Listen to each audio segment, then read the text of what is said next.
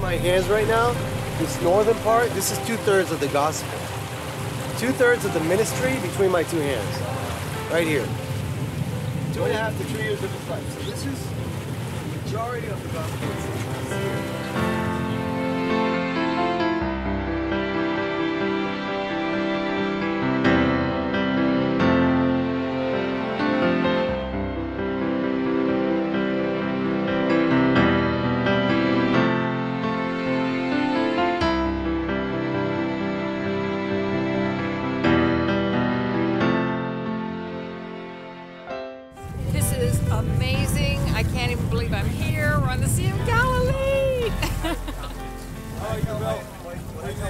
Beautiful place. It's like none other.